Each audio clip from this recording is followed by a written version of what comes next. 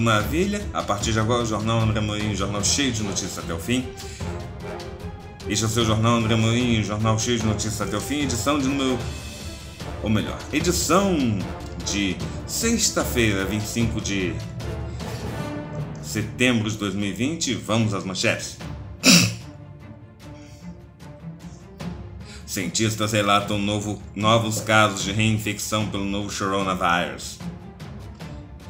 Governo do Rio autoriza a volta do público aos estádios.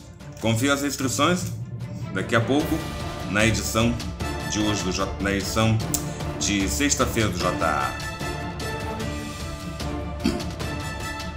Bolsonaro volta a defender volta às aulas durante a pandemia. Liesa cancela desfiles do grupo especial em fevereiro de 2021. Presidente Jair Bolsonaro será operado no Einstein, em São Paulo. Brasil se aproxima de 140 mil mortes por Covid-19. Ministério Público do Trabalho rejeita denúncias de racismo contra Magazine Luiza por programa para negros. TRE vota por unanimidade e decide tornar Crivella inelegível. Repórter agredida em xingada. Fui chamada de macaca e. Piranha! Piranha! Vai vendo. Filho do cantor Ronifon está em prisão domiciliar por não pagar pensão. Nova testemunha do caso Patrícia Mieiro disse que ouviu o policial envolvido falar: A gente vai resolver. Vai vendo. Na coluna Futebol Esporte Companhia, com péssima atuação e cheio de falhas, Fluminense leva gol no fim e é eliminado. Garotada em ação no Mengão. CBF define que o sorteio das oitavas, de, das oitavas da Copa do Brasil será no dia 1 de outubro. Ídolo do Botafogo faz comentário machista sobre bandeirinha. Bota pra lavar roupa! Luiz Henrique é aprovado em testes, assina com o Olympique de Marseille e é elogiado por técnico. Volta de Ramon é trunfo. Com insultos, reunião não define volta de torcida aos estádios.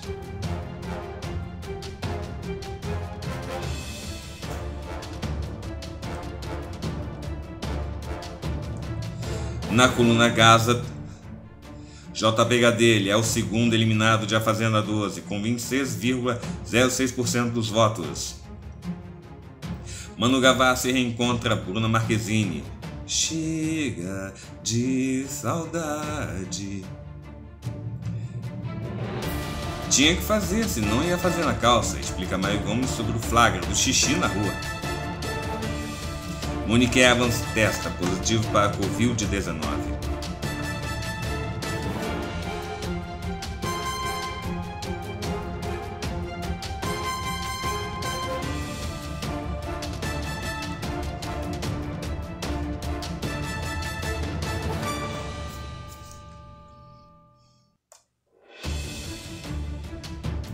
Franklin Davi pede desligamento, pede demissão da RedeTV.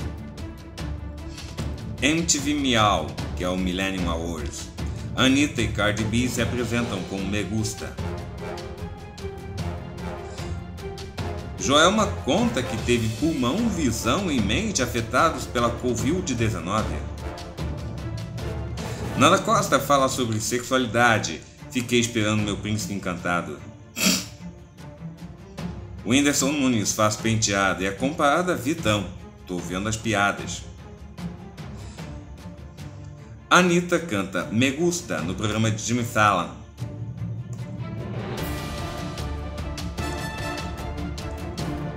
Na coluna no WhatsApp.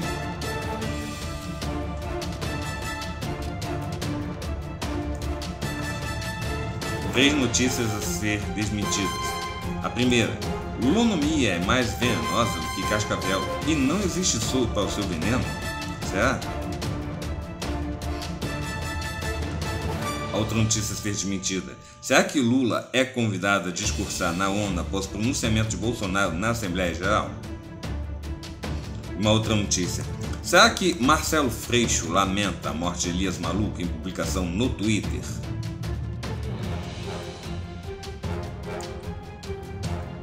Muito bem. E.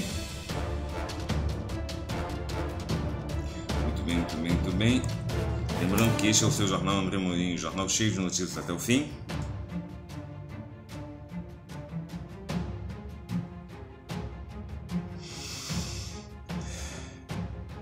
Bom. No destaque bizarro, pedido de casamento em Ponte Famosa acaba com acidente. Ciclista fotógrafo. E a última do jornal André Mourinho, jornal cheio de notícias até o fim, uma piada para alegrar o seu dia. E o jornal André Mourinho começa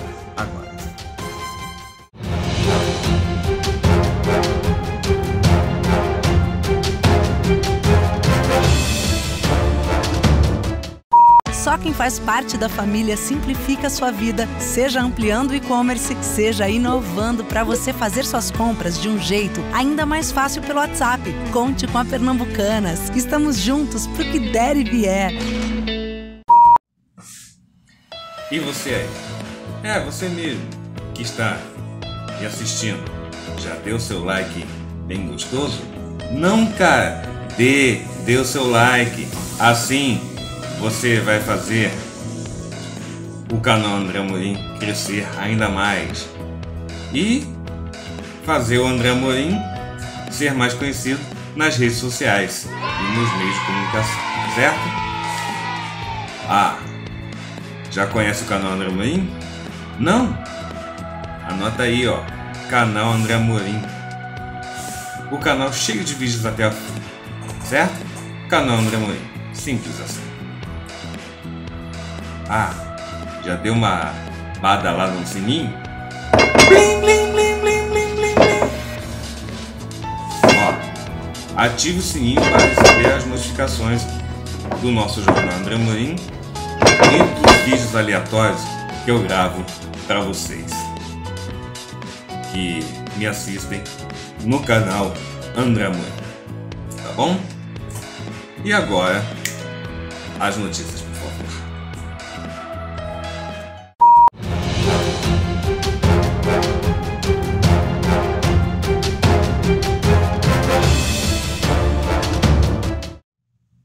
Cientistas relatam novos casos de reinfecção pelo novo coronavírus. Os cientistas destacam que todos os novos achados ainda levantam dúvidas sobre a duração da resposta imune à Covid-19. Dois artigos publicados recentemente, recentemente na revista científica Clinical Infectious Diseases, ligada à Universidade de Oxford, mostram que a reinfecção pelo novo coronavírus ocorreu de forma precoce em um dos casos e sem sintomas em outra situação. As descrições somam-se a outros relatos semelhantes, incluindo alguns investigados no Brasil. Os cientistas destacam que todos os novos achados ainda levantam dúvidas sobre a duração da resposta imune à Covid-19. No primeiro relato publicado no fim de semana por cientistas dos Estados Unidos, um homem de 42 anos, militar na área da saúde, testou positivo para o SARS-CoV-2 em 21 de março, após a exposição à Covid-19 no trabalho. Ele sentiu febre, tosse e dores musculares, mas se recuperou e voltou a um estado de saúde considerado excelente após 51 dias. Em 24 de maio, porém, além da febre e tosse, ele apresentou falta de ar e sintomas gastrointestinais. Desta vez, a doença foi confirmada após a exposição dentro de casa. Um exame de raio-x indicou infiltração pulmonar e um novo exame RT-PCR deu positivo para o vírus. Notadamente, os sintomas são significativamente piores quando comparados com a síndrome inicial, escreveram os pesquisadores americanos em uma carta ao editor da revista científica. A análise do genoma do SARS-CoV-2 em é, das duas ocasiões identificaram diversas variações potenciais, o que sugere que os vírus eram distintos e, portanto, se tratava de uma reinfecção. Os dados clínicos epidemiológicos e de sequenciamento deste caso sugerem uma reinfecção precoce com o SARS-CoV-2 apenas 51 dias após a resolução da infecção inicial. É importante ressaltar que isso foi observado em um jovem paciente imunocompetente, pontuaram os pesquisadores que reforçaram o fato de a segunda infecção ter sido mais grave, diferentemente de outros casos já relatados. Segundo eles, a gravidade ocorreu potencialmente devido ao aprimoramento imunológico, aquisição de uma, de uma cepa mais patogênica ou talvez um inóculo maior de infecção, visto que a segunda exposição foi de dentro da casa. Já o segundo estudo, publicado nesta quarta-feira, dia 23, no mesmo periódico, relatou o caso de dois profissionais de saúde da Índia que apresentaram reinfecção assintomática, o que gerou uma preocupação maior por parte dos investigadores. O relatório destaca a possibilidade de reinfecções por SARS-CoV-2 não detectadas e a necessidade de vigilância nos sistemas de saúde, disseram. No país asiático, um homem de 25 anos e uma mulher de 28 testaram positivo para a Covid-19 por meio do exame RT-PCR nos dias 5 e 17 de maio, respectivamente. Embora estivessem sem sintomas, foram hospitalizados e posteriormente testaram negativo em 13 e 27 de maio. Após seguir normalmente com o trabalho em hospitais, o homem foi diagnosticado novamente com o novo coronavírus em 21 de agosto e a mulher em 5 de setembro.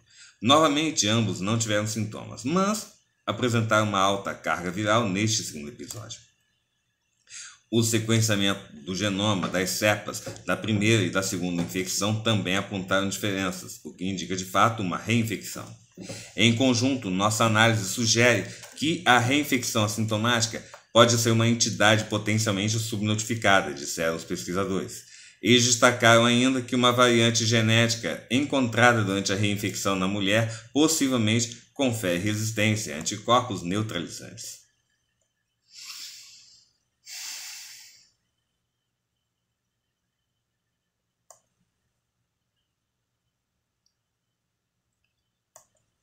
Governo do Rio autoriza volta do público aos estádios. Confira as restrições. Até o momento, a liberação é de 30% da capacidade total. Em edição extra do Diário Oficial do Governo do Estado do Rio de Janeiro, o governador em exercício Cláudio Castro autorizou jogos com a presença de público nos estádios. A permissão abrange municípios que estejam na bandeira amarela ou verde e que atendam uma série de condições destacadas na publicação. Por hora, a liberação é para a ocupação de 30% da capacidade total. Confira abaixo as demais restrições e obrigações impostas pelo governo em publicação no Diário Oficial para o retorno dos torcedores do Rio de Janeiro. Jogos com presença de público estão autorizados somente para os municípios das regiões de saúde que estejam na bandeira amarela ou verde um protocolo adequado para cada estádio, validado pelas entidades desportivas e sanitárias locais e setores de segurança pública, deve ser apresentado em até 72 horas antes da data da partida e seguir diretrizes descritas no plano, no plano de retorno dos torcedores aos estádios de futebol elaborado pela CBF, com a garantia de todas as recomendações de controle e prevenção sanitária que decorrem da, pandemia, da pandemia da Covid-19, como lotação máxima de 30% da capacidade total, realização de campanhas de conscientização com divulgação de informativos do Ministério da Saúde, Secretaria Estadual e Municipais de Saúde acerca da prevenção, diagnóstico e tratamento precoce da Covid-19. Distanciamento mínimo de 2 metros entre os torcedores, tanto em cadeiras quanto nas arquibancadas, com exceção de famílias. Uso de máscara obrigatório antes, durante e após o jogo fornecimento de álcool em gel 70% ou sanitizantes de efeito similar a todos os torcedores. Aferição de temperatura e triagem de sintomáticos respiratórios no acesso ao estádio. Lojas, restaurantes, lanchonetes e bares abertos em cumprimento das orientações sanitárias locais. Contratação de equipe para higienização dos corrimãos, assentos e locais de circulação o descumprimento ao disposto no decreto sujeitará os clubes responsáveis pela organização das partidas as seguintes sanções: advertência, multa de 5 mil reais na primeira reincidência, proibição de realização de novas partidas de futebol no local por 15 dias na segunda reincidência.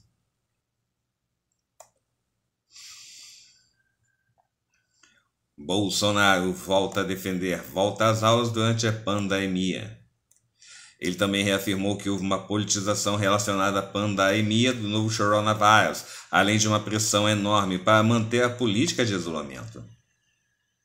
O presidente Jair Bolsonaro voltou a defender nesta quinta-feira, dia 24, o retorno das aulas presenciais em escolas.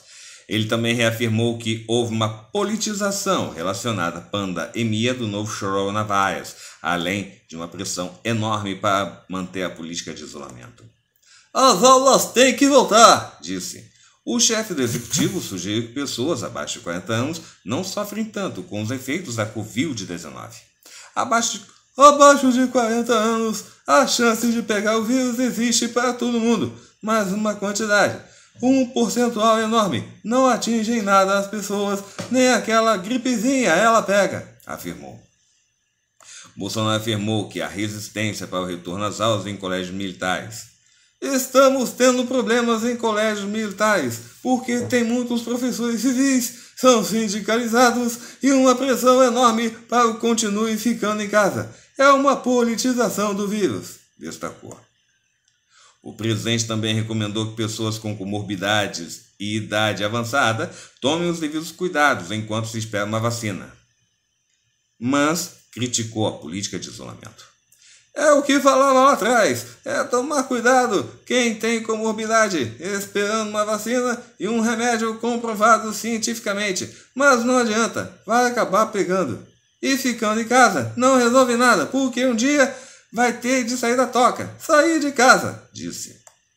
Em tom morado e reforçando seu posicionamento de que o contágio pelo coronavírus é inevitável, o presidente disse ao ministro Ricardo Salles do Meio Ambiente ele também pegaria a doença eventualmente. Não vou rogar praga não, mas você vai pegar, disse. O chefe da pasta do meio ambiente acompanhou Bolsonaro na live semanal.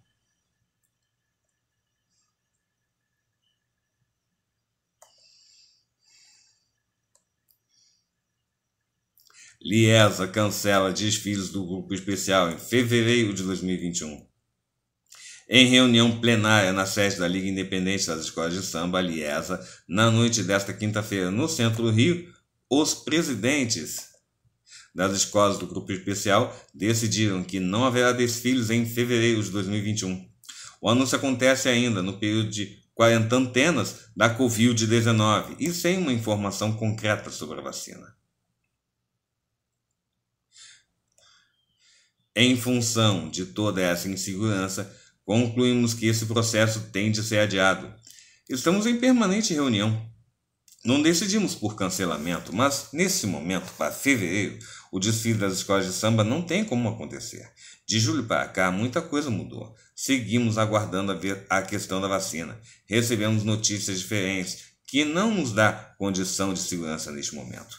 O modelo tradicional de desfile demanda um tempo muito maior. Nossa luta é para não cancelar disse o presidente da Liesa, Jorge Castanheira.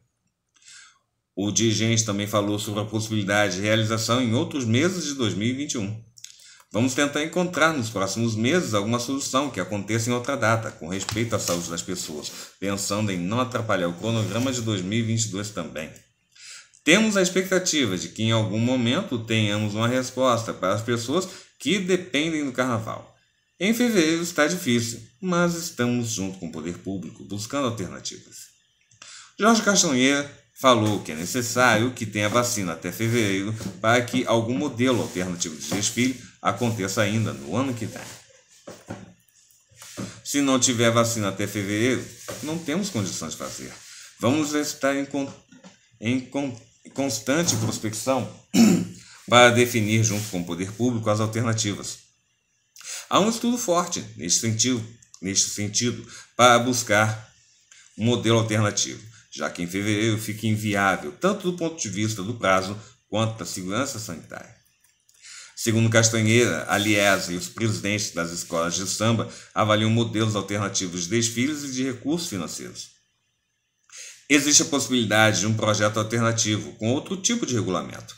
Tudo isso está sendo desenvolvido desde o momento que temos a impossibilidade de realizar a imunização em fevereiro. Estamos avaliando hipóteses alternativas de recursos financeiros. Tudo está sendo estudado. A gente entende que em janeiro precisamos ter uma perspectiva.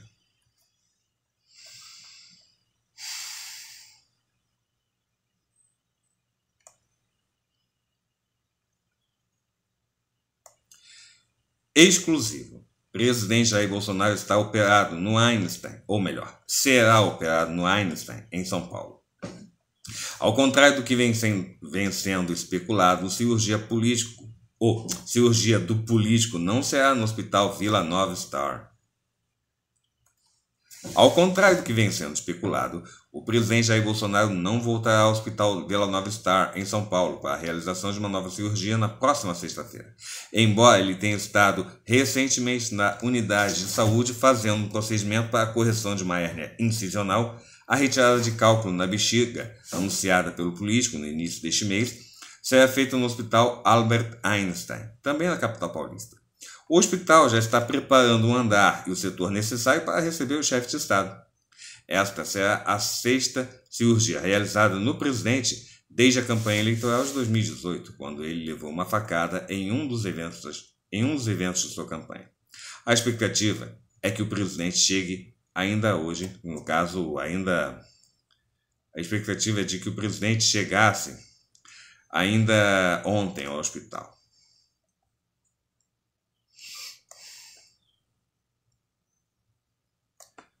Brasil se aproxima de 140 mil mortes de Covid-19. Levantamento é feito pelas secretarias estaduais de saúde e inclui pessoas sintomáticas ou assintomáticas.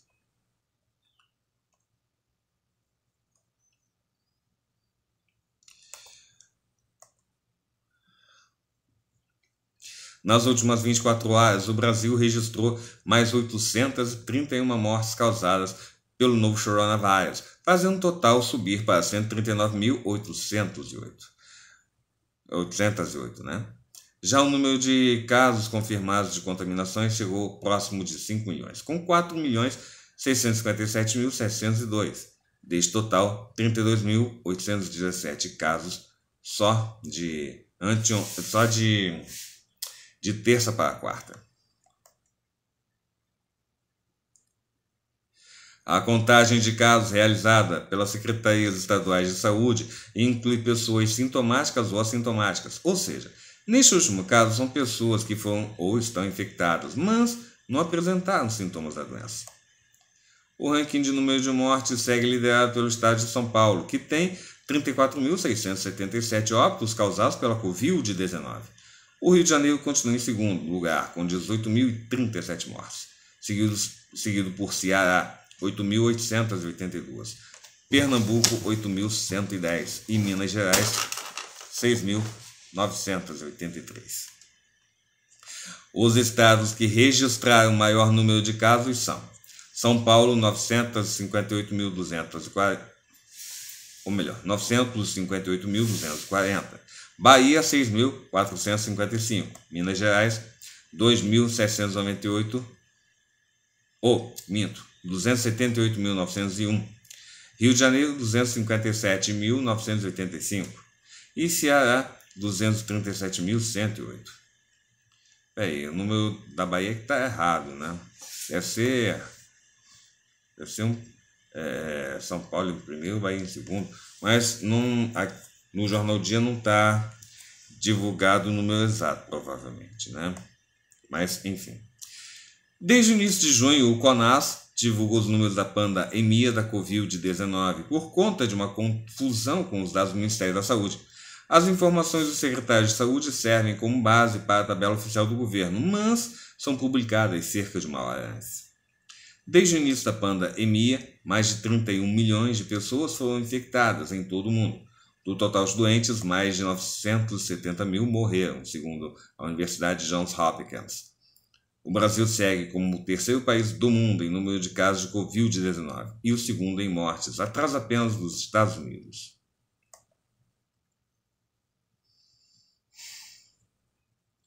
A ampliação do seguro-desemprego é adiada. Codefat decide criar grupo de trabalho para avaliar a medida que propõe ampliar o benefício a quem foi desligado durante a pandemia de, ou pandemia, desculpa, de durante a pandemia de coronavírus. A decisão para a ampliação do seguro-desemprego em mais duas parcelas foi adiada, é, foi adiada é,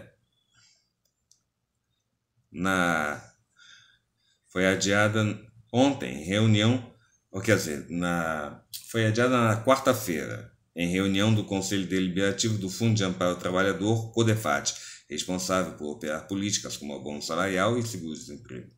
Em nota, o Conselho explicou que a proposta de ampliação de parcelas de seguro-desemprego apresentada pela bancada dos trabalhadores foi retirada da pauta da reunião e que será criado um grupo de trabalho especial, GTE, com o objetivo de aprofundar as discussões e rever a proposta. Por conta da panda EMIA, segundo dados do IBGE, 30 milhões de pessoas perderam o emprego, inclusive eu, né? Se aprovada, medida beneficiaria pelo menos 6 milhões de desempregados. No entanto, ainda não há data definida para a formação do grupo e nem para a reanálise da proposta. O colegiado tem 18 integrantes, indicados por trabalhadores, empresas e governo. Cada categoria tem seis assentos no conselho. Atualmente, a presidência do conselho é ocupada por representantes dos trabalhadores.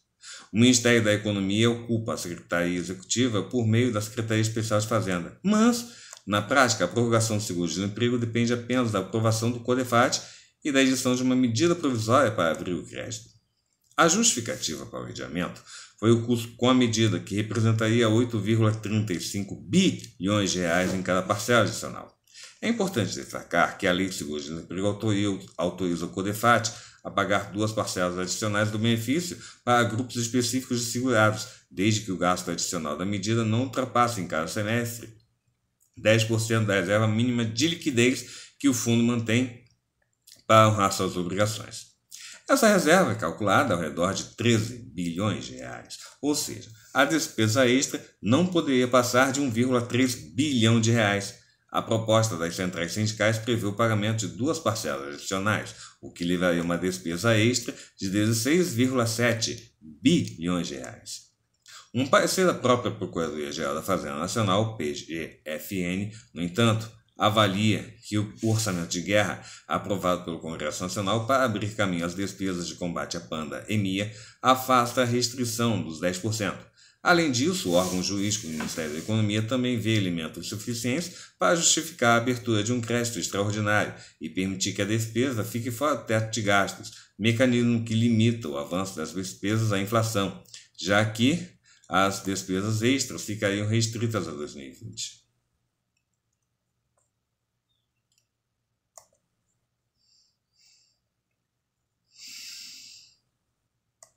Ministério Público do Trabalho rejeita denúncias de racismo contra a Magazine Luiza por programa para negros. Anunciada na última sexta-feira, dia 18, a iniciativa da Magalu teve larga repercussão é, nas redes sociais, despertando elogios e críticas, inclusive com acusações de racismo reverso. O Ministério Público do Trabalho em São Paulo indeferiu uma série de denúncias recebidas contra a Magazine Luiza por suposta discriminação na decisão da empresa de selecionar apenas negros em seu próprio programa de trainees. Para o Ministério Público do Trabalho, não houve violação trabalhista, mas sim uma ação afirmativa de reparação histórica. Ao todo, foram recebidas 11 denúncias em que a varejista é acusada de promover prática de racismo uma vez que, nas palavras de um dos denunciantes, impede que pessoas que não tenham um tom de pele desejado pela empresa participem do processo seletivo.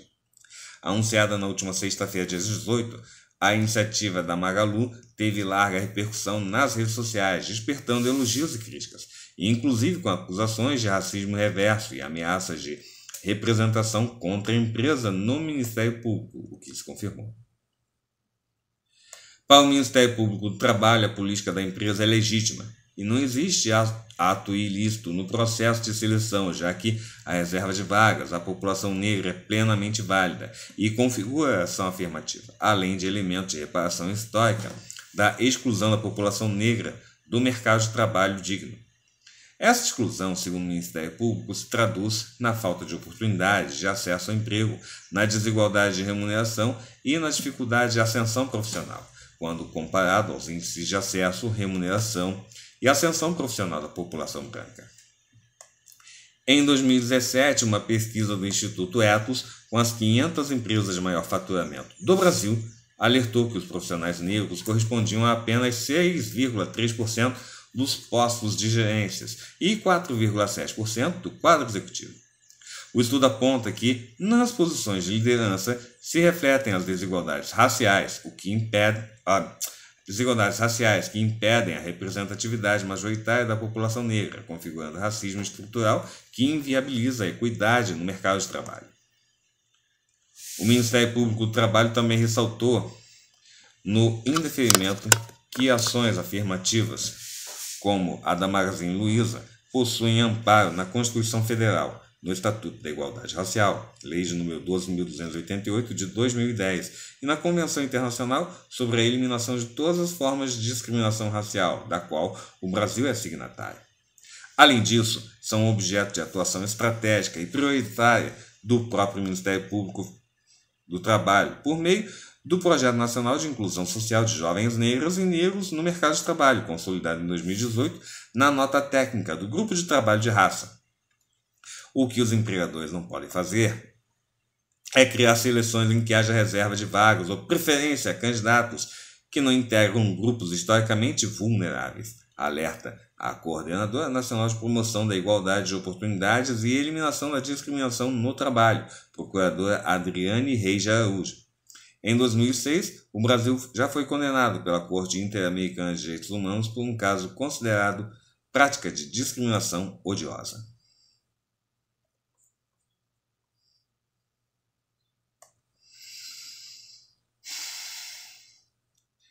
TRE vota por unanimidade e decide tornar o prefeito do Rio, Marcelo Crivella, inelegível.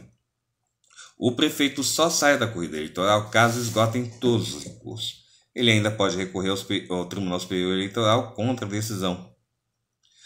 O Tribunal Regional Eleitoral do Rio, TRE, confirmou nesta quinta-feira, por unanimidade, a decisão de tornar o prefeito do Rio de Janeiro, Marcelo Crivella, do Republicanos, candidato à reeleição inelegível até o ano de 2026. O prefeito só sai da corrida eleitoral caso esgotem todos os recursos ele ainda pode recorrer ao, Tribunal Superior Eleitoral contra a decisão e ao Supremo Tribunal Federal, STF. Na segunda-feira, dia 21, Crivella já tinha sido julgado inelegível, porém, o desembargador Vitor Marcelo Rodrigues pediu vistas do processo. Neste mesmo dia, o prefeito alegou que ia entrar com recurso. Após concluído e publicada a decisão no prazo legal, a defesa do prefeito Marcelo Crivella entrará com recurso, disse a prefeitura em nota. Aliás, mudando, voltando ao assunto do Bolsonaro, o Bolsonaro, é, se eu não me engano, ia ser operado na quinta e não na quarta, na quinta-feira. Mas vamos voltar ao assunto do Crivella.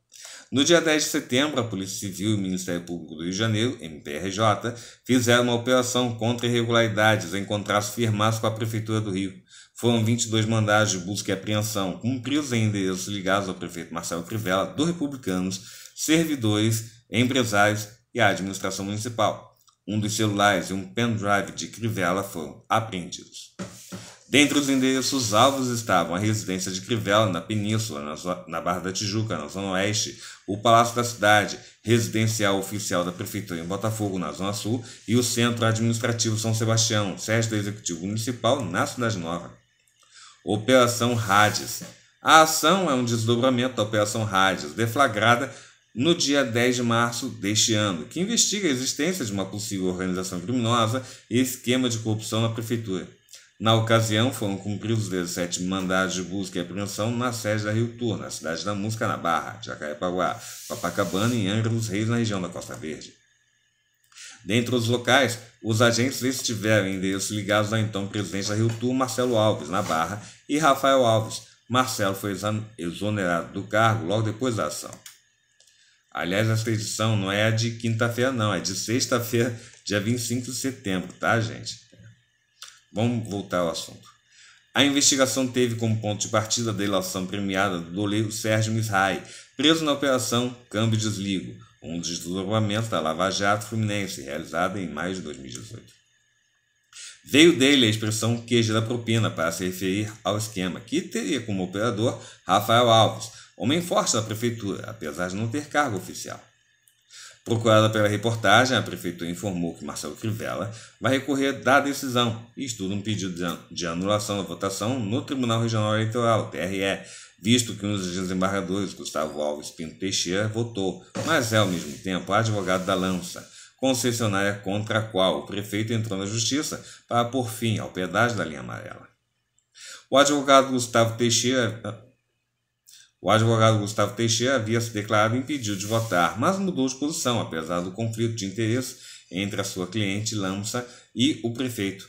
Note-se ainda que, após a decisão judicial, Crivella abriu as cancelas do pedágio na linha amarela, tornando-o gratuito durante a pandemia.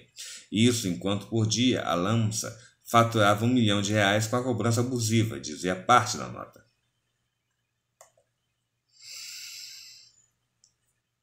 Repórter é agredida e xingada. Fui chamada de macaca e piranha.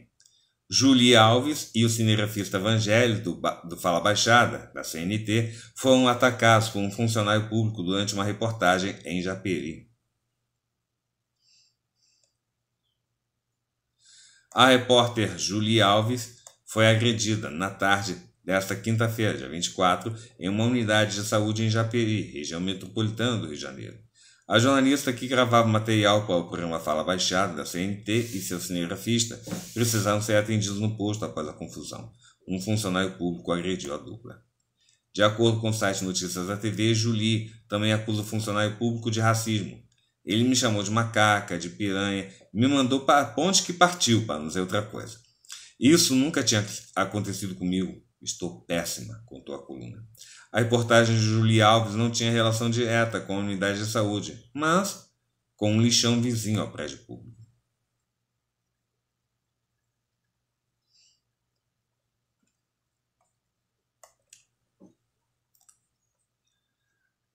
Advogadas cobram na justiça explicações da Damares sobre contratação de Sarah Winter. A contratação também é alvo da Polícia Federal, da Polícia Federal, que investiga se o cargo dado a ela seria uma forma de financiar a suposta organização criminosa que organiza atos antidemocráticos.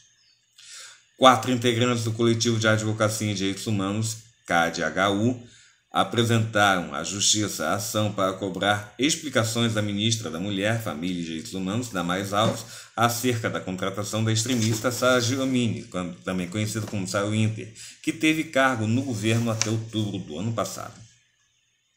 As advogadas pedem ainda explicações sobre viagens internacionais feitas por Sara, em uma delas para o Equador. A extremista teve afastamento autorizado pelo Ministério para participar de um evento no qual se identificou como ativista independente e não como integrante do governo. Segundo as advogadas Heloísa Machado, Luciana Cunha, Juliana Vieira dos Santos e Alessandra Nilo, tais fatos podem indicar o desvio de finalidade no exercício de cargo público. Sá foi nomeada em abril do ano passado para chefiar a coordenação geral da atenção integral à gestante no Departamento de Promoção da Dignidade da Mulher. Em maio, a extremista começou um giro por países da América Latina, na qual participou de eventos e entrevistas à televisão. O tour passou pela Argentina, 4 de maio, Uruguai, de 7 a 10 de maio, e Equador, de 1 a 9 de julho. Somente nesta última viagem, o Ministério autorizou o afastamento da funcionária para participar da segunda Convenção Internacional da Família, realizada em Guayaquil. Ocorre que a apresentação realizada pela funcionária do governo no evento em questão não foi realizada como representante do governo brasileiro, mas sim como ativista independente, e a apresentação se baseou exclusivamente nas qualidades pessoais, ideologia e visão de mundo de Sarah Winter, apontam os advogados do CAD-HU. Caso as atividades privadas de Sérgio Omini venham a se confundir com o exercício de sua função pública, haveria clara violação da moralidade administrativa por desvio de finalidade e quebra do princípio da impessoalidade, afirmam. O grupo, o grupo de advogados pede à Justiça que obrigue Damais e seu secretário executivo Sérgio Luiz, Carra, Sérgio Luiz Caraza à apresentação de provas que justifiquem os critérios usados a contratação de Sara, incluindo quais requisitos ela precisou cumprir para ser escolhida e desempenhar o cargo. As advogadas também querem provas da existência de registros e procedimentos administrativos feitos pela extremista que justificariam o giro em países da América Latina no ano passado. A lista inclui ofícios sobre eventuais afastamentos, justificativas técnicas, planejamento, pagamento de diárias, gastos totais, relatórios do cumprimento de metas, prestações de contas, entre outros documentos necessários para a correta verificação da legalidade e moralidade dos atos. faz-se necessário ser necessária né, a produção de provas para verificar se o cargo público ocupado por sua natureza exigia qualificação técnica específica. Ato contínuo. Deve-se verificar se Sage Ilumine obedeceu a esses requisitos e de que forma o MMFDH aferiu e quantificou sua competência para integrar os quadros do Ministério, apontam. Vínculos. A relação entre SAI e Damares Alves também é alvo de investigação da Polícia Federal no inquérito que apura o financiamento e organização de atos antidemocráticos. Segundo o relatório parcial da corporação, investigadores apontam que há vínculos ainda não totalmente esclarecidos envolvendo a contratação de extremista no Ministério da Mulher. A natureza e a origem desses vínculos e as relações entre essas pessoas e agentes públicos com atuação nessa pasta merece aprofundamento para corroborar ou eliminar a asserção feita no corpo da hipótese criminal de que tais contratações seriam também uma forma de distribuir fundos aos propagadores ou operadores, apontou a Polícia Federal. Caso semelhante é visto pela Polícia Federal em relação à ex-secretária de Políticas de Promoção de Igualdade Social, Sandra Terena, esposa do blogueiro Oswaldo Eustáquio, investigado no inquérito. Terena foi desligada nesta segunda-feira, dia 22, três dias depois de o Estadão publicar as informações do relatório da Polícia Federal que apura as ligações, delas, as ligações dela com o inquérito. Com a palavra, o Ministério da Mulher, da Família e dos Direitos Humanos. Até a publicação desta matéria, a reportagem ainda não havia recebido uma resposta do Ministério da Mulher, da Família e dos Direitos Humanos. O espaço permanece aberto a manifestações. Filho do cantor Ronifon está em prisão domiciliar por não pagar pensão. Ronaldo Nogueira se apresentou espontaneamente em delegacia por não pagamento de pensão alimentícia aos seus dois filhos.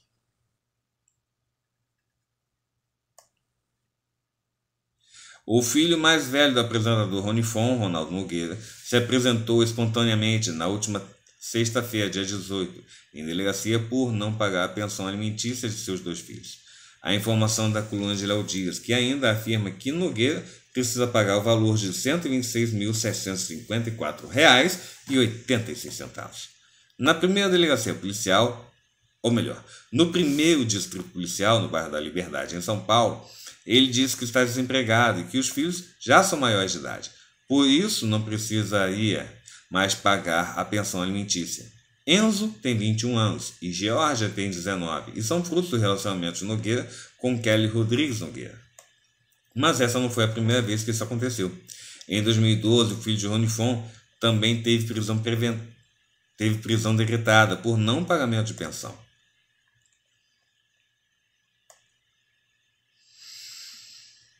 Nova testemunha do caso Patrícia Mieiro disse que ouviu o policial envolvido falar: A gente vai resolver. A engenheira está desaparecida desde junho de 2008 na ocasião, ela voltava de carro de uma festa no Morro da Urca, na zona sul do Rio. Depois de 12 anos desaparecida, uma nova testemunha pode ajudar a esclarecer o caso Patrícia Mieiro. Segundo o Ministério Público do Estado do Rio de Janeiro, MPRJ, um homem que não teve identidade revelada prestou depoimento nesta terça-feira sobre o sumiço da engenheira e informou que um policial envolvido no sumiço da vítima disse que ia resolver a situação logo após retirar Patrícia de dentro de um veículo. O MPRJ diz que, embora já tenha ocorrido o julgamento do caso, a decisão ainda não é definitiva e que o processo não terminou, tendo em vista que houve recurso por parte da família da vítima.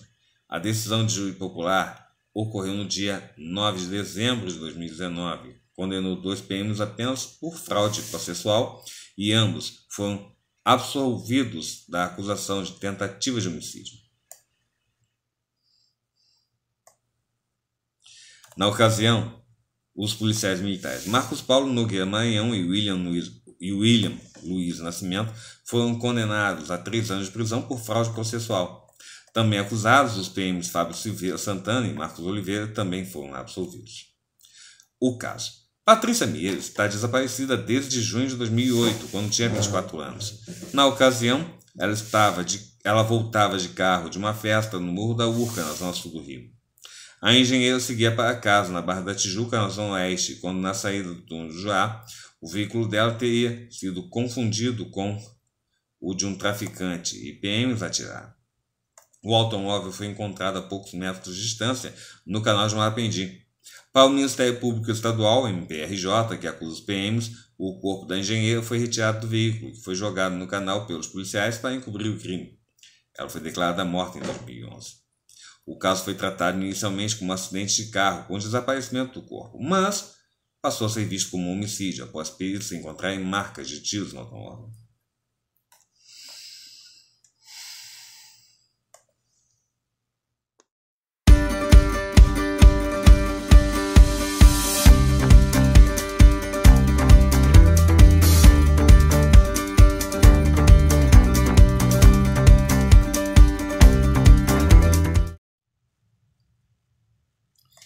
Com péssima atuação e cheio de falhas, Fluminense leva gol no fim e é eliminado. Time joga mal demais, perde por 3 a 1 fora de casa para o Atlético Goianiense e dá adeus à Copa do Brasil. Uma eliminação merecida após a atuação tenebrosa de Muriel até o ataque, passando pelas péssimas opções de Odair Helma, a verdadeira maionese, Odair Helma, depois de fazer 1 a 0 na ida, graças a um gol contra. O Fluminense podia até empatar, mas não tinha como pelo que fez em campo e a derrota por 3 a 1 para o Atlético Goianiense veio com requinte de crueldade nos acréscimos. Pelo segundo ano, o tricolor não alcança as oitavas de final da Copa do Brasil e chega a cinco edições sem conseguir eliminar um adversário da Série A.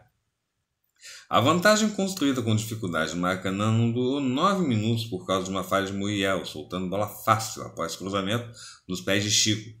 Pior do que gol que colocou o duelo em igualdade, só mesmo o que o Fluminense fez em campo. Desorganizado, lento, sem nenhuma criação, ataque inexistente, meio de campo perdido e marcando mal. O time de Olair Helman foi dominado por um Atlético goianiense que perdeu pelo menos três chances. A primeira finalização só foi sair aos 39. Calegari foi travado. Sair para o intervalo perdendo por 1 a 0 era lucro, mas no último lance, aos 50, Lucas Claro empatou de cabeça em escanteio cobrado por Egídio. Nem mesmo o gol achado serviu para o Fluminense se acertar. As mudanças de Odair não fizeram sentido, nem resolveram um problema crônico de criação. Felipe Cardoso, no lugar de Michel Araújo, não conseguiu jogar mais uma vez. Ganso entrou no lugar de Luiz Henrique, num time sem ataque, em velocidade, e pouco fez. Pacheco criou a melhor jogada do tricolor quando substituiu Wellington Silva. Carlos chutou mal. E Iago em, em Hudson. Nada acrescentou. Sem a mesma intensidade, o Atlético Goianiense reduziu o ritmo, mas seguiu muito melhor e bastou pressionar para marcar o segundo gol com Marlon Freitas, após nova falha de Muriel em chute de Janderson. E quando o duelo se, se encaminhava para os pênaltis, os goianos fizeram terceiro aos 47 com Matheus Vargas, após falhas de Egídio e Calegari. A alegria de Marlon Freitas contrasta com o abatimento de Muriel, decepção tricolor.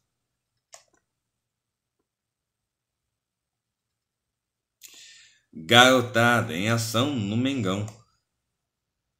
Com 16 jogadores com Covid-19 e 3 lesionados, o elenco profissional do Flamengo vai precisar recorrer à categoria de base para poder entrar em campo contra o Palmeiras domingo, no Allianz Parque, pela 12 rodada do Brasileirão, desde que a bola realmente role. A diretoria rubro-negra, a diretoria rubro-negra pede o adiantamento, pede o adiamento da partida. Já os dirigentes do time paulista querem jogo. A CBF até quinta-feira não havia batido martelo para definir a questão. Sete jogadores que estavam em Porto Alegre para a estreia do Flamengo no Brasileiro Sub-20 voltaram ao Rio de Janeiro às pressas para o treino de quinta-feira, dia da reapresentação após a vitória sobre o Barcelona de Guayaquil pela Libertadores. São eles: João Fernando, goleiro, Ítalo, lateral esquerdo, Gabriel Noga, zagueiro, Otávio, zagueiro, Vinícius Milani, zagueiro, Richard, Richard Rios, Richard Rios, meia, e Yuri de Oliveira, meia. O volante Douglas, do Sub-18, que estava no Rio porque jogou contra o Madureira pelo Carioca Sub-20, também foi acionado. Este é o elenco à disposição da comissão técnica, que não terá o, o técnico Domenech Torrent, que também está com a Covid-19. A média de idade dos 22 jogadores à disposição para o confronto com o Palmeiras é de 20,5 anos. O número de atletas pode sofrer mudanças caso Gabigol se recupere da lesão muscular a tempo, o que é pouco provável. Ou outro garoto do Ninho seja chamado para se integrar ao time. O camisa 9 no treino de quinta-feira apenas correu em volta do campo.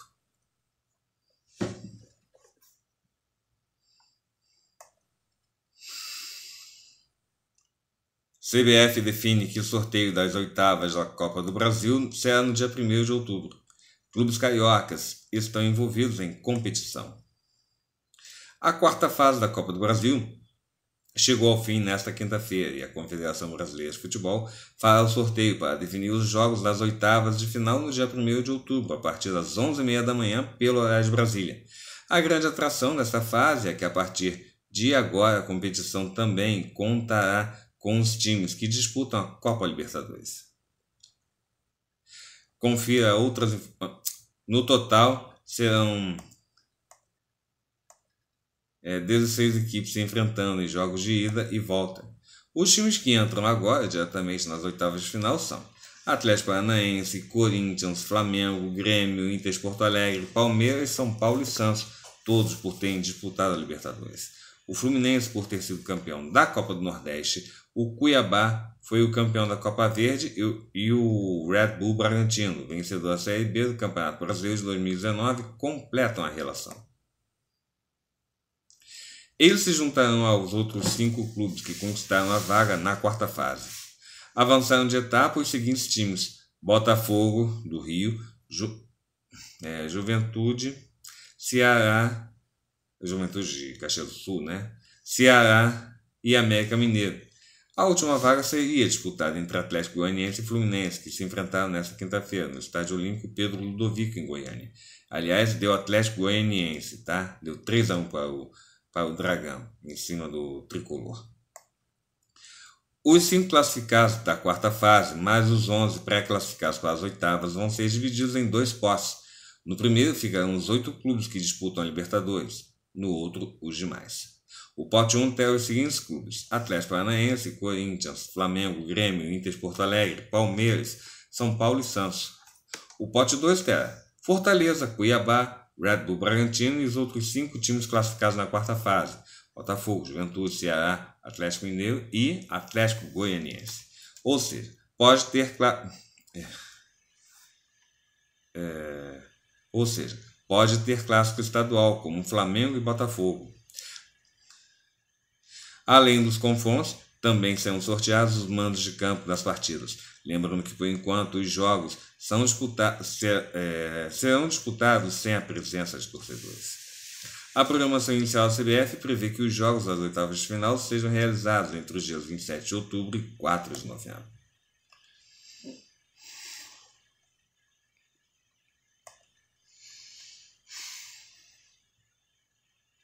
Vídeo Ídolo do Botafogo faz comentário machista sobre bandeirinha. Bota para lavar roupa. Fala aconteceu em transmissão do clássico contra o Vasco.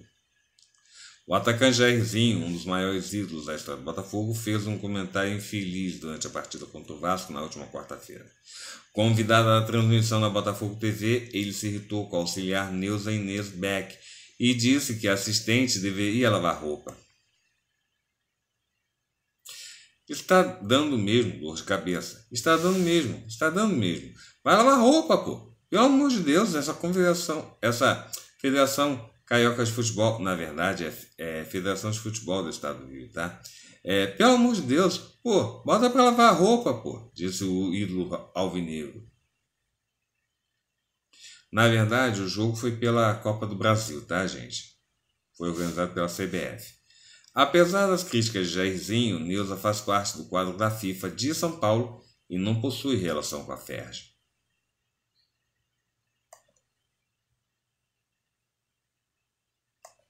Luiz Henrique é aprovado em testes, assina com Marsella e é elogiado pelo técnico. Na verdade, ele assina com o Olympique de Marseille. Né? Jogador era um dos destaques do Botafogo na temporada e fechou com os franceses por cinco anos. O atacante Luiz Henrique do Botafogo assinou contrato de cinco anos com o Olympique de Marseille. De acordo com a RMC Sport, O jogador de 18 anos foi aprovado nos exames médicos nesta quinta-feira e firmou o acordo.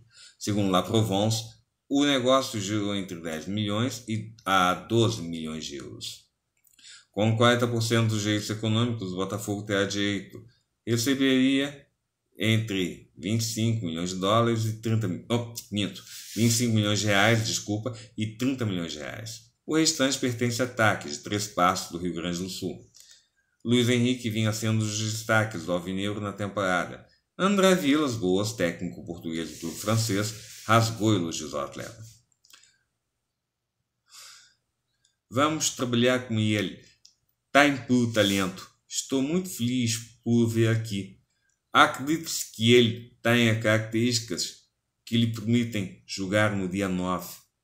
Ainda tenho que assistir a tudo isso, tudo isto.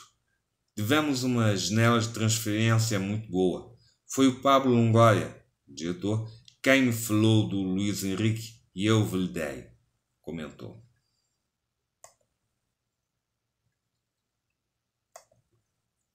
Volta de Ramon é trunfo. Eliminado da Copa do Brasil, o Vasco deposita confiança na volta de Ramon Menezes à beira do gramado para a reação imediata no brasileiro. Após testar positivo para a Covid-19, o técnico cumprirá o último dia de 40 antenas no sábado, véspera do confronto com o Red Bull Bragantino em São Januário, como revelou o portal UOL. Assintomático, Ramon Aos olhos Ramon. Assintomático, Ramon fez outros dois testes com resultado negativo, segundo o médico do clube, Rodrigo Furtado. Seu substituto nos, dois, nos últimos dois jogos, o auxiliar Thiago Kozlowski, cumprirá suspensão pela expulsão contra o Curitiba. Com insultos, reunião não define volta de torcida aos estádios. Presidentes da CBF, Rogério Caboclo, e da FERJ, Rubens Lopes, tocam ofensa. A reunião entre CBF, clubes e federações para tratar sobre a volta das torcidas aos estádios terminou em muita gritaria e sem uma definição. Uma briga entre Rogério Caboclo, presidente da CBF, e Rubens Lopes, presidente da FERJ, impediu que a votação para encerrar a polêmica fosse iniciada. Logo de início, o Caboclo propôs o retorno do público nas cidades onde já é permitido, mas anunciou que haveria uma votação. Rubens Lopes não concordou, o que gerou desentendimento com o presidente da CBF e muita discussão. Lopes chegou a dizer que Caboclo teria esquecido de tomar o gardenal do dia. Com o clima quente, o secretário-geral da CBF, Walter Ferdman, encerrou a reunião virtual. Como já era esperado, Flamengo e Ferdi se posicionaram a favor da volta do público nos estádios onde já for permitido, mesmo que algumas equipes não tenham esse privilégio. A maioria, porém, pedia que os jogos com portões abertos fossem permitidos apenas quando todos os clubes pudessem atuar com torcida, afirmando que o retorno em algumas cidades afetaria a competitividade do campeonato. Sem votação a respeito da volta do público e de novos protocolos para prevenir a Covid-19, a única mudança aprovada foi sobre o número de atletas que podem ser inscritos, de 40 para 50, a exemplo do que fizeram a UEFA e a Conmebol em suas competições.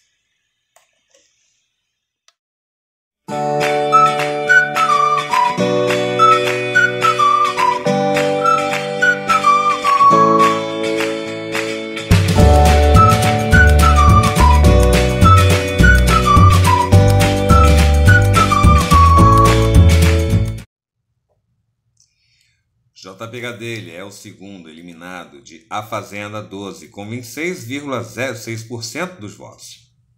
O peão deixou o reality show da Record TV após perder a disputa pela preferência do público contra Lídia Lisboa e Luiz Ambiel. A Fazenda 12 chegou ao fim para JP Gadelha. O peão foi eliminado da competição no programa ao vivo desta quinta-feira, dia 24, com 26,06% dos votos. Ele perdeu a disputa contra Lídia Lisboa e Luiz Ambiel pela preferência do público em uma votação realizada no r7.com. Na segunda formação da roça desta temporada, o fazendeiro Rodrigo Moraes indicou Carol Narizinho. Luiz Ambiel foi a próxima, recebendo seis, peões, seis votos dos peões. Em seguida, a modelo puxou Lídia Lisboa da Baia. O último peão indicado foi JP, Gadelha, foi JP Gadelha, na dinâmica do restão. Após uma prova do fazendeiro, que exigiu força e agilidade, a narizinho e saiu vitoriosa, garantiu o chapéu mais cobiçado da sede, livrando-se de uma possível eliminação. Em poucas semanas, J. Gadelha mostrou que veio para aproveitar o reality. O bombeiro militar fez amizades, aproveitou as festas e protagonizou o primeiro beijo da Fazenda Doce. JP mostrou também que não estava ali só para brincadeiras. O peão foi para a baia, ganhou a prova de fogo e discutiu com Lucas Cartoloco, após, após discordar de um comentário do repórter. Como a saída de JP como a saída de JP Gadelha vai influenciar o jogo? Para saber, acompanhe a Fazenda 12.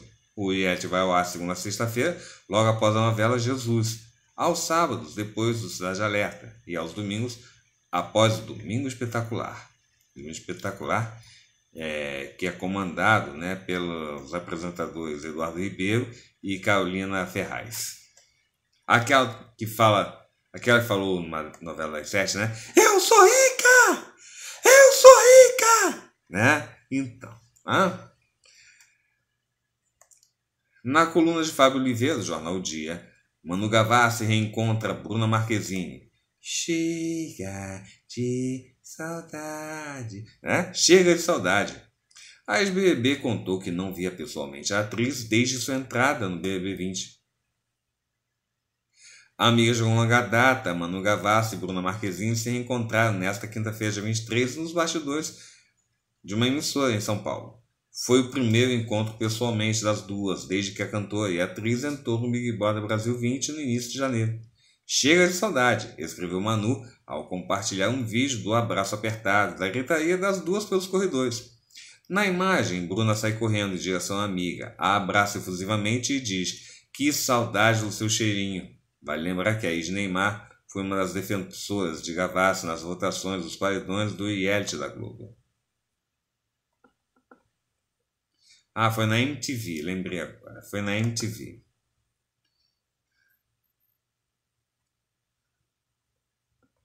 Pois muito bem.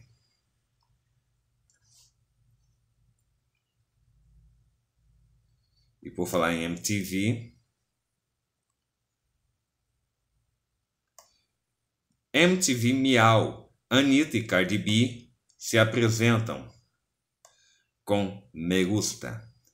Além delas, houve apresentações de Pablo Vittar, Ludmilla, Luísa Sonza e foi apresentado por Bruno Marquezine e Manu Gavassi. MTV Miau, quer dizer, MTV Millennium Awards. A nova parceria de Anitta com Cardi B e o rapper Mike Towers chegou quebrando tudo. O clipe de Me Gusta estreou fazendo sucesso e o trio se apresentou no MTV Miau nesta quinta-feira, dia 24. A premiação foi ao ar às 10 horas da noite, ao vivo, no canal de televisão, e a apresentação e teve a apresentação de Bruno Marquezine e Manu Gavassi. A premiação teve outras, teve outras apresentações, como a própria Manu Gavassi, Glória Groove e Lucas Silveira, que abriram o show com Deve Ser Horrível Dormir Sem Mim. Ludmilla, Pablo Vittar, Luísa Sonza, Vitão, MC Isaac, Pedro Sampaio, Poca, Tatizaki, Jonga, Luan Santana e Agnes Nunes também estiveram confirmados com performances, sejam gravadas ou ao vivo e presenciais.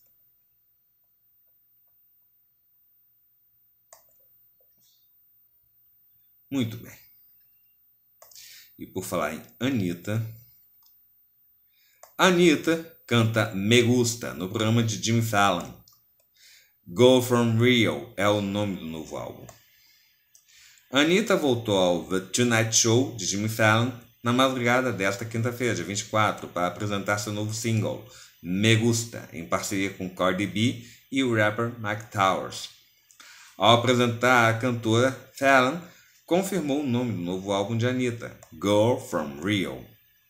Aliás, a Cardi B é aquela que falava Coronavirus, Coronavirus, né? para não dizer outra, não dizer o nome da doença que está causando pânico, né, no mundo. A apresentação gravada no Rio de Janeiro com Pão de Açúcar como cenário marcou a segunda participação da cantora no programa de Jimmy Fallon. Em 2017, ela fez sua estreia ao apresentar Sweet, música da rapper Iggy Azalea, em parceria com a brasileira. A nova aposta internacional de Anitta foi lançada na última sexta-feira, dia 18, e desde então está entre as 50 músicas mais ouvidas no mundo no Spotify, acumulando mais de 10 milhões de streams. O clipe gravado em fevereiro no Pelourinho, em Salvador, registra 21 milhões de visualizações no YouTube. Cardi B ainda não fazia parte da música na época das gravações e teve sua imagem inserida digitalmente no vídeo oficial. Sim, pois ela não estava presencialmente é, na Bahia, né?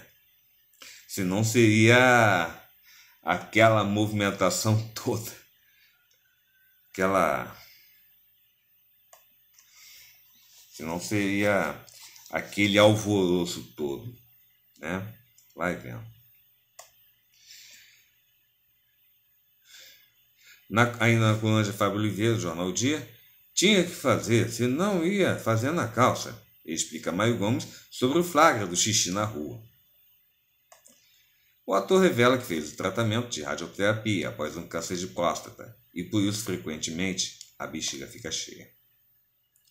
Depois do flagra urinando em um canteiro de obras no Leblon, Maio Gomes fez uma live para justificar o caso.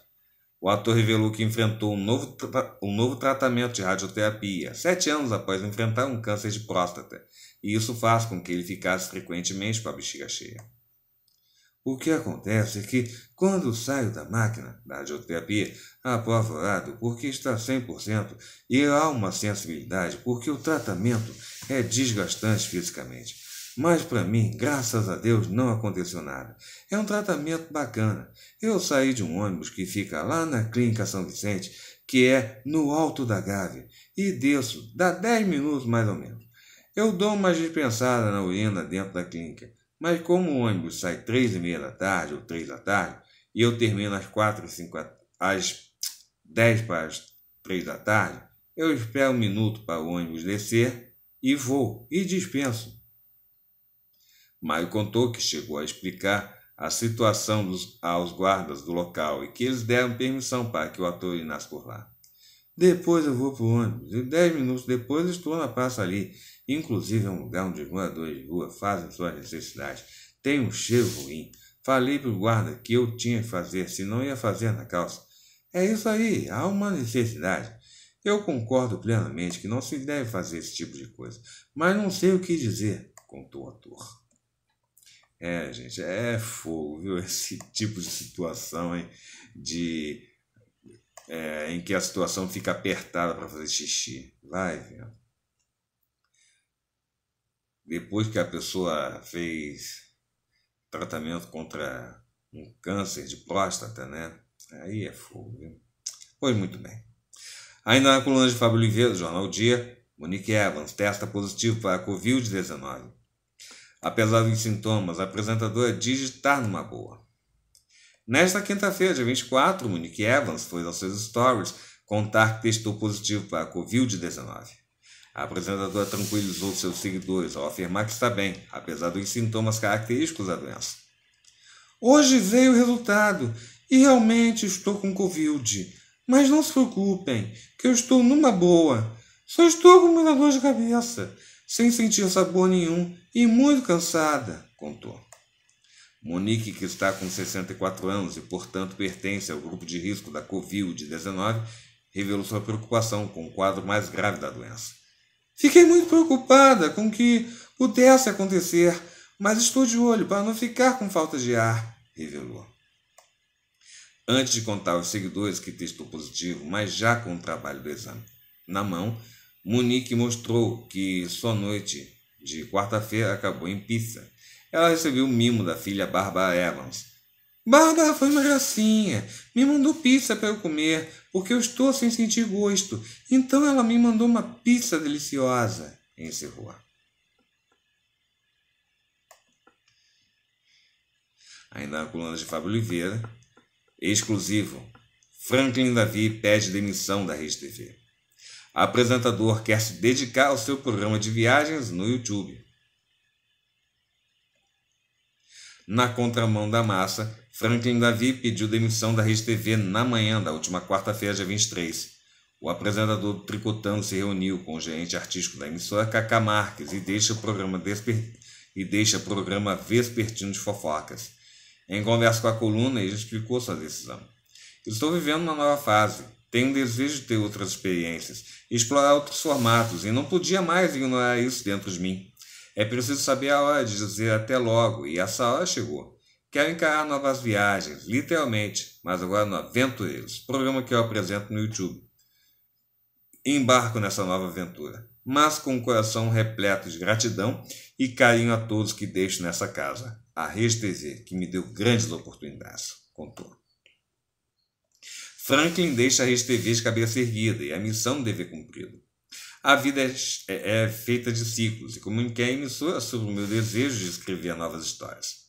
Conversamos, eles entenderam o que eu estou buscando. O Tricotando é leve, divertido de fazer e tenho muito orgulho de ter estado com ele desde o começo. Mas agora, meu novo filho, Aventureiros, precisa da mesma atenção e dedicação que tive com o Tricotando. No último. No, aliás, no próximo dia 30 de setembro, embarco para a Turquia, dando pontapé inicial nas viagens internacionais do canal do YouTube. Mais uma vez agradeço a todos que fizeram parte dessa jornada.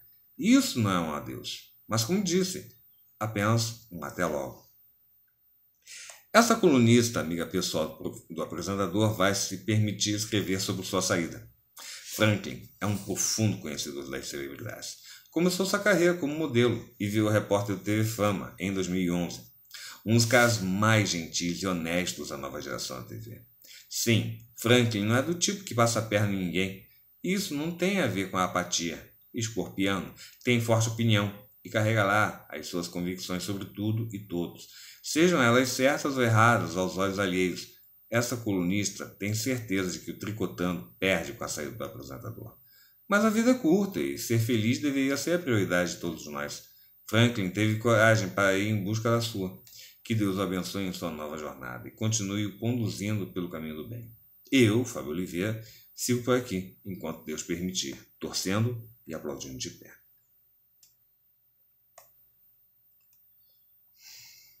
Aliás, boa sorte, né, ao Franklin Davi com o seu novo programa no YouTube, né, que é um programa de viagens, aventureiros, né, alguma coisa assim.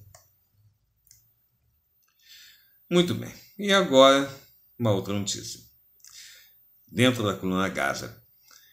Joelma conta que teve pulmão, visão e mente afetados pela Covid-19. Cantor afirmou ter ficado com os sintomas da doença por mais de um mês.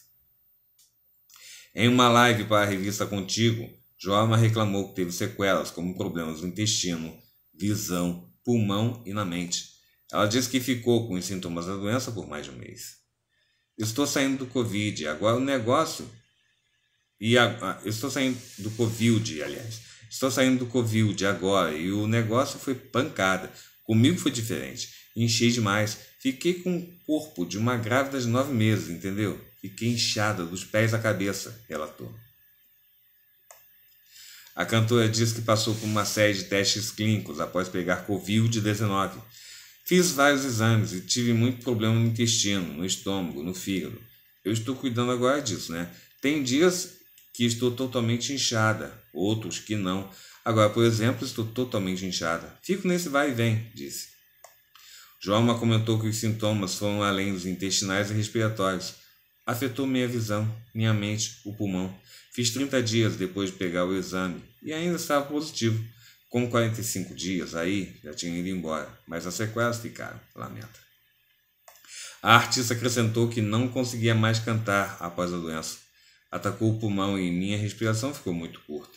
E cansava, não conseguia segurar a afinação e segurar notas prolongadas, revela. João estava no Pará quando foi infectado pelo novo coronavírus. O primeiro sintoma a aparecer foi febre. Tive de ficar isolada lá. Aqui em casa, só eu peguei. Foi bom que peguei por todo mundo aqui, brinca. No próximo dia 3, Joelma fará uma live intitulada Bateu Saudade. Só falta cantar aquela música da da da banda Mel, né? Aquela jura, jura que me dá o seu amor, que me dá o seu amor, que me dá. Tum, tum, tum, bateu, tum tum tum bateu, tum tum tum bateu, a saudade bateu e doeu. A música bateu saudade da banda Eva, da banda Minto, da banda Mel, da banda Mel. Cuja cantora vocalista foi a cantora Abgenese, alguma coisa assim. Vamos voltar à, à coluna Gaza. Nanda Costa fala sobre sexualidade. Fiquei esperando meu príncipe encantado. A atriz contou em vídeo que demorou para sair do armário. Nanda Costa postou no Instagram nesta quinta-feira um vídeo em que fala sobre sexualidade e sua relação com a mulher Lan Lan. Ela contou que sempre teve consciência da sua orientação sexual e demorou a ter coragem de falar sobre isso abertamente. Nunca gostei de usar vestido, sempre amei ganhar carrinho, no meu aniversário de 8 anos, estava de Branca de Neve, mas fiquei anos no armário esperando meu príncipe encantado, que apareceu em 2014. Demorei mais 4 anos para conseguir subir essa foto e assumir para o mundo meu amor. Entendi a importância da representatividade e do orgulho de dizer que sou sapatão, disse Nanda no vídeo.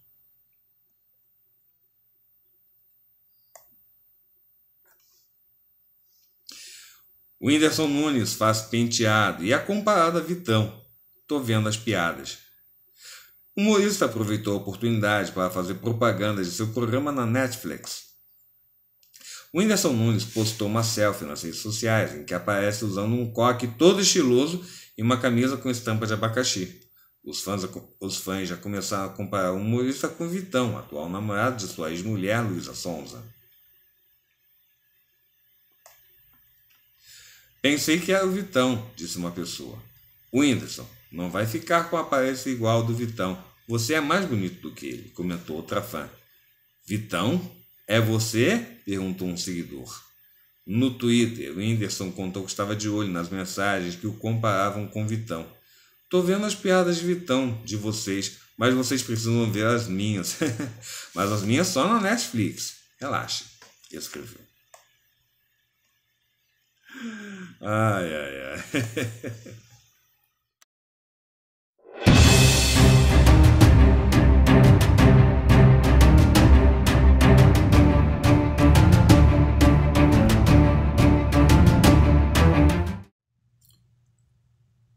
Primeira notícia a ser desmentida.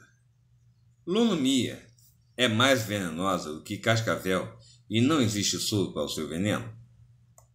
Cuidado, porque estamos na época da lonomia, que é uma taturana mais venenosa do que cobra cascavel. Não existe soro para o veneno da lonomia. Em tempos de volta ao novo normal, parece que a preocupação das pessoas com a saúde não está limitada aos casos de Covid-19 no Brasil. Sim, ainda estamos em uma pandemia. A prova disso está em uma mensagem que voltou a circular na internet. Ela alerta para o suposto perigo da lonomia.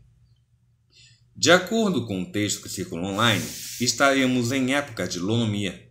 Ela seria uma taturana com veneno pior do que, a cobra, do que da cobra cascavel. Mais do que isso, a mensagem aponta que não existe soro para o veneno do animal. Confira.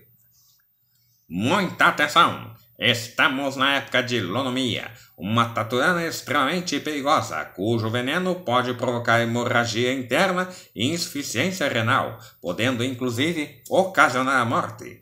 Elas ficam aglomeradas nas árvores dessa maneira, que é uma das características dessa espécie. Se virem algo assim, mantenha a distância e não toque nelas e chame os bombeiros. E insistam, pois eles ficarão gratos e será de muita utilidade. Nas árvores estão cheios, lonomias oblíquas. Não existe soro ainda, pior que cascavel. A cor dela pode variar de acordo com a região, porém esse V branco na cabeça é característico e vivem agrupadas igual nessa foto aí. Cuidado ao colocar a mão na árvore sem ver, é o que mais acontece. Agora, vamos falar a verdade. Será que a lonomia é mais venenosa do que cascavel e não existe soro para o seu veneno? O que não tem faltado na internet são alertas em relação ao animal. Para alívio de todos nós, a mensagem, apesar de falar de um animal venenoso, é recheada de informações erradas e principalmente exageros. Nós desmentimos essa mesma mensagem em março de 2018. A contradição de épocas do ano derruba a tese de que o texto acerta ao falar sobre a época de lunomia. No texto, que você pode rever abaixo, alguns trechos, né? Ou no link completo, explicamos o que há de real e o que há de verdade na história. Vamos relembrar. Para admitir a história, fizemos uma análise das afirmações do texto e achamos diversos furos. Antes disso, vamos deixar claro o que é real na história. Primeiro, as imagens são de fato da lonomia oblíqua. Segundo, a dica de não tocar nelas é obviamente válida. Terceiro, vale a pena se você vir um montão, como na foto, comunicar alguma autoridade ambiental. E quarto, o V na cabeça é característico. Existe sim alonomia. Aliás, o soro se chama soro antilonômico. Esse texto aponta que o soro foi desenvolvido em 1994, justamente pelo Instituto Butantan. Por este motivo é importante avisar sim ao Instituto, ao Instituto Butantan da ocorrência, para que seja criado mais soro antilonômico. Falar que lonomia é pior que a cascavel também é uma balela. Seja o que for que isso signifique, podemos contestar. Com certeza, as cobras que podem dar botes e acuadas são mais perigosas do que taturanas, lagartas e lonomias. Também é mentira que a lagarta tem um veneno pior do que a cobra. Dados do Ministério da Saúde apontam que houve 48.818 acidentes com lagartas entre 2000 e 2016, com 25 mortes um óbito por 1.952 casos. No caso de ataques de cobras foram 443.067, com 1.793 mortes, um óbito a cada 252 casos. Acho que ficou bem claro que cobras são piores que lagartas.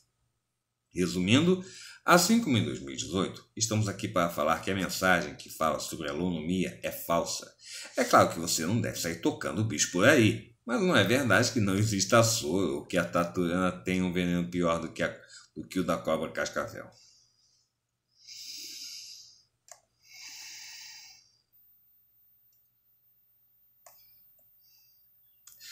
Lula. É, agora, será que Lula é convidado a discursar na ONU após pronunciamento de Bolsonaro na Assembleia Geral? A ONU convidou o ex-presidente Lula para discursar em um webinário após fiasco de Bolsonaro na Assembleia Geral. O pronunciamento do presidente do Brasil, Jair Bolsonaro, na Assembleia Geral da Organização das Nações Unidas, ONU, tem dado o que falar no mundo inteiro, principalmente em terras tupiniquins. As afirmações de que o país teria recebido um auxílio emergencial de quase mil dólares e que as queimadas na Amazônia e no Pantanal seriam obra de índios e caboclos, e ao, ao mesmo tempo que negou que a situação estivesse ocorrendo, causou mal-estar entre a maioria dos brasileiros, uma vez que se tratam de informações falsas. E de acordo com uma história que está circulando nas redes sociais, o fiasco de Bolsonaro teria sido tanto que a própria ONU decidiu convidar o ex-presidente Lula para discursar na instituição. Segundo o texto, Lula iria participar é, do webinário Educação e as Sociedades que Queremos. Ainda de acordo com a publicação, o evento iria ocorrer no dia 24 de setembro de 2020, às 10 horas da manhã. Confira. São duas versões, sendo, sendo que a segunda é um textão. Um pouco, é, um pouquinho grande, né? Mas enfim.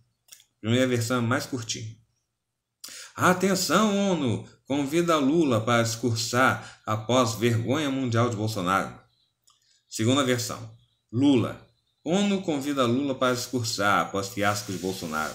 Após a vergonha mundial que Jair Bolsonaro fez nesta terça-feira, dia 22, na abertura da Assembleia Geral da ONU, o ex-presidente Lula foi chamado para discursar no organismo internacional sobre educação. O ex-presidente Luiz Inácio Lula da Silva vai discursar nesta quinta-feira, dia 24, às 10 horas da manhã, na abertura do webinário Educação e as Sociedades que Queremos. Agora vem cá. Será que Lula foi convidado a discursar na ONU após pronunciamento de Bolsonaro na Assembleia Geral? A informação caiu como uma bomba nas redes sociais, especialmente no Facebook. Houve quem gostasse bastante da suposta notícia, como os apoiadores de Lula, rendendo mais de 9 mil compartilhamentos em apenas uma das publicações. Apesar disso, a história não passa de balela.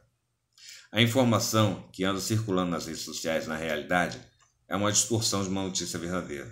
O ex-presidente Lula, de fato, foi convidado para discursar no webinário Educação e as Sociedades que Queremos, que acontece o que aconteceu na verdade, no dia 24 de setembro de 2020, às 10 horas da manhã, quinta-feira.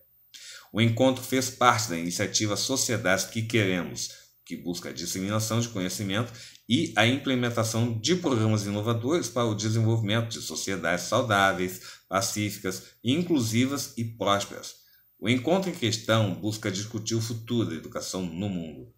O ex-candidato à presidência da República, Fernando Haddad, também foi convidado para participar do Congresso.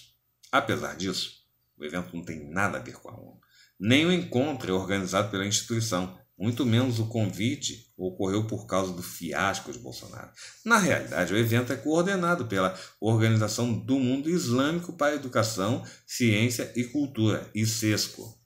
A ONU e o Instituto Lula são apenas apoiadores do encontro. Vale ressaltar que essa história de fiasco de Bolsonaro, apesar das informações erradas no discurso do presidente da República, foi algo que surgiu no próprio conteúdo que está circulando nas redes sociais. A ONU não emitiu qualquer juízo de valor em relação ao discurso de Bolsonaro. O próprio Instituto Lula destacou que o convite não tem nada a ver com a fala de Bolsonaro. Em nota, a assessoria do Instituto Lula destacou que o evento em questão começou a ser construído em julho de 2019. Não tem nada a ver com o discurso de Bolsonaro, informa a nota. Além disso, a assessoria afirmou que a divulgação da participação de Lula no evento da ICESCO aconteceu antes do discurso de Bolsonaro na Assembleia Geral da ONU, uma coisa não tem nada a ver com a outra, encerra o comunicado. Por fim, a história acabou sendo desmentida por outros serviços de fact-checking, como o site Aos Fatos, o serviço Estadão Verifica e a agência Lupa. De acordo com a Lupa, Lula foi convidado por convidado, é, ou melhor, por Kombu Bolibarri, ou Kombu Bolibarri, relator especial para o direito à educação no Conselho de Direitos Humanos da ONU e ex-ministra da Educação de Burkina Faso. Ainda segundo a agência Lupa, os relatores especiais são especialistas independentes que são responsáveis por elaborar relatórios sobre determinado aspecto dos direitos humanos em regiões específicas, ou seja, o convite não foi feito por uma representante da ONU. Em resumo, a história que diz que a ONU convidou o ex-presidente Lula para discursar em evento após o fiasco de Bolsonaro na Assembleia Geral é falsa. Lula, de fato, discursou em um evento sobre educação, mas o encontro não tem nada a ver com a ONU. Na realidade, ele é coordenador pela Organização do Mundo Islâmico para Educação, Ciência e Cultura, ICESCO, e começou a ser organizado em julho de 2019. A ONU e o Instituto Lula são apenas apoiadores do evento.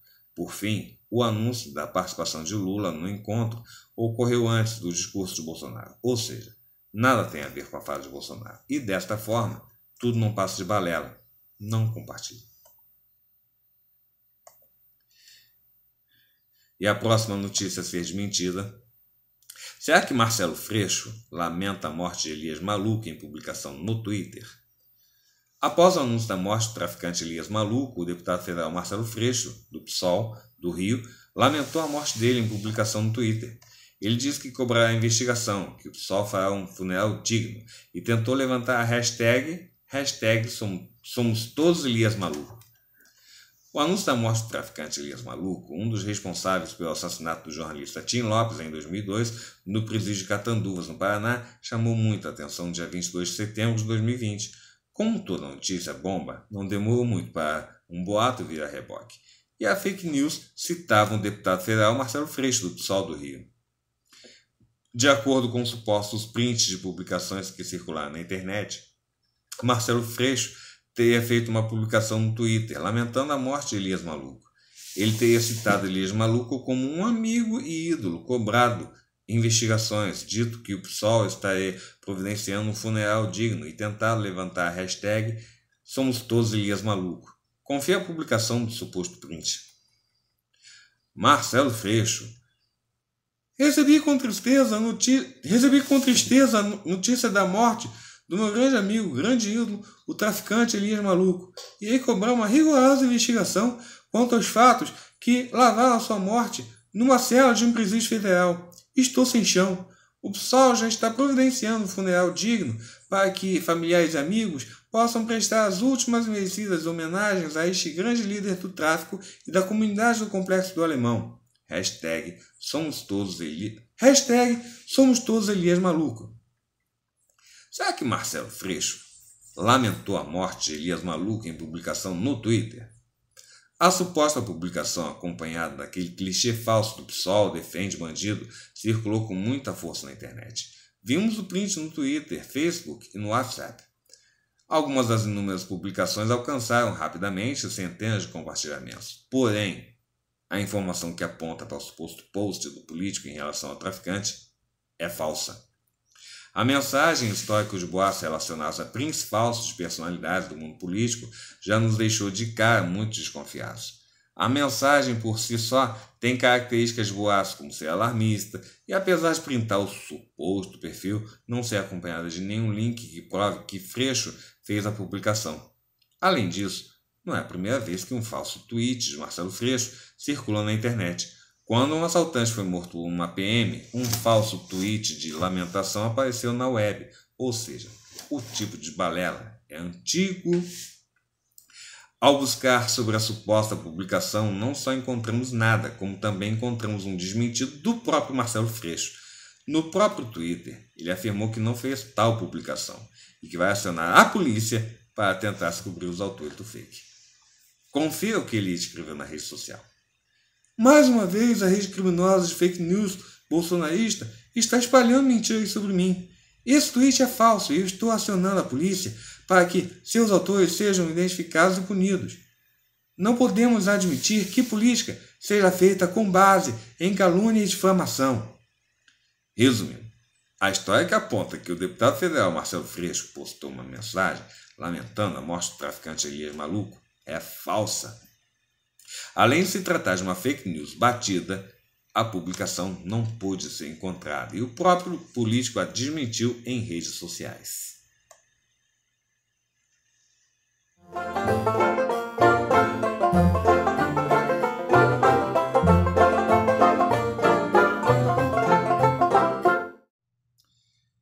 Pedido de casamento em ponte famosa acaba com acidente. Ciclista atropelou fotógrafo. Chris Vigo quis marcar um dia especial, escolhendo um lugar especial. Na icônica Brooklyn Bridge, em Nova York, nos Estados Unidos, o americano se ajoelhou para pedir a mão da namorada Angelina em casamento.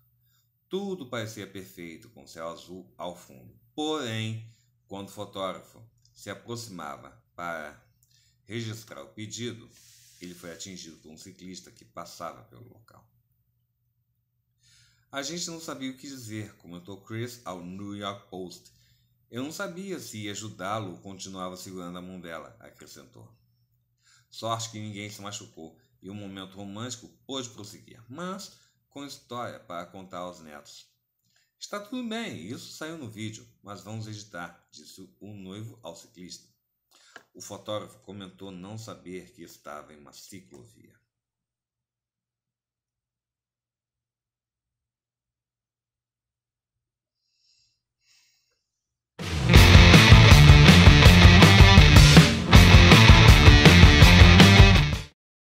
E a última do jornal André Mourinho, jornal cheio de notícias até o fim. Piada da disputa entre louras, ruivas e morenas. Em um congresso feminino nacional estava em disputa quem eram as mulheres mais inteligentes, as louras, as ruivas ou as morenas. A primeira a subir ao palco foi a representante das morenas que anuncia: nós, morenas, estamos nos preparando para irmos à Lua, sendo a tripulação da nave composta apenas por mulheres. As morenas da plateia aplaudem com entusiasmo. É, viva! É! Uma ruiva sobe ao palco e diz: Nós, as ruivas, seremos as primeiras mulheres a dar a volta ao redor de Marte, sendo a tripulação composta apenas por mulheres. Todas as ruivas ovacionaram a companheira. É, isso mesmo, é! Viva! É! Então, uma lua sobe ao palco esbanjando charme e também se manifesta. Nós, as luas, estamos programando uma ida ao sol. Nem bem acaba de falar, é aplaudidíssima por todas as luas da plateia que jogam bolsas e sapatos para o alto. É!